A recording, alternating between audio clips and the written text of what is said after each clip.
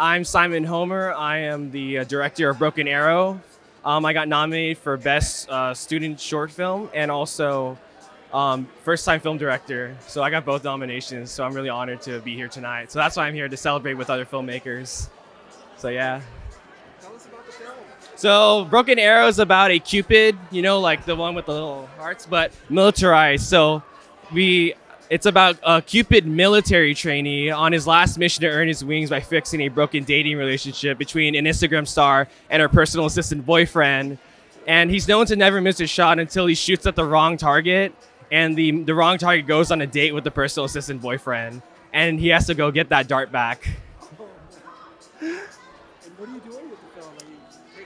Festivals yet? Yeah, like we um, originally it was just a passion project. Uh, just I wanted to do at my local university at John Paul the Great Catholic University.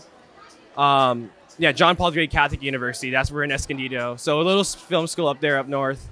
And it was just I just did it for fun, just to really test my my limits and put it in for festivals if you were lucky. And then sure enough, we got accepted into this film festival award. But yeah, we're I would love to like take this around local festivals here in San Diego uh, for sure.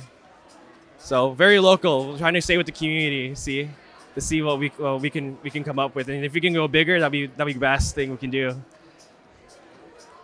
You're out there, you're doing it. Thank you.